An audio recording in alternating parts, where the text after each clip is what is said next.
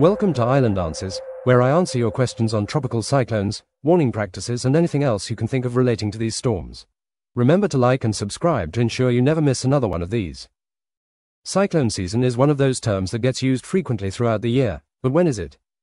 The official cyclone season in Mauritius runs from November 15th to May 15th. However, the most active period for tropical storms and cyclones is typically during the southern hemisphere's summer and autumn, from mid December through March. This is when sea surface temperatures are warmest, providing the necessary energy for storm formation and intensification.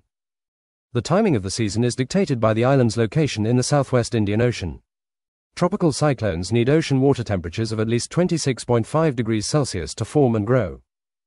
The season's end in mid May corresponds with a drop in sea surface temperatures and an increase in atmospheric wind shear, which makes it harder for storms to develop. This provides a clear time frame for the Mauritius Meteorological Services to be on high alert and for residents to have their emergency plans in place. But it must be noted, although cyclone season has its defined dates, tropical systems can still form before and after the season. So it's wise to keep an eye on the tropics year round just in case. I'll be monitoring the basin all year and will let you know when such occurrences happen, like with Awo and Blossom, which formed well outside of the tropical cyclone season. This has been Island Answers, your questions on tropical cyclones answered. Thank you for watching. If you like these questions and answer videos, please be sure to like this video and subscribe to the channel. We'll see you in the next one.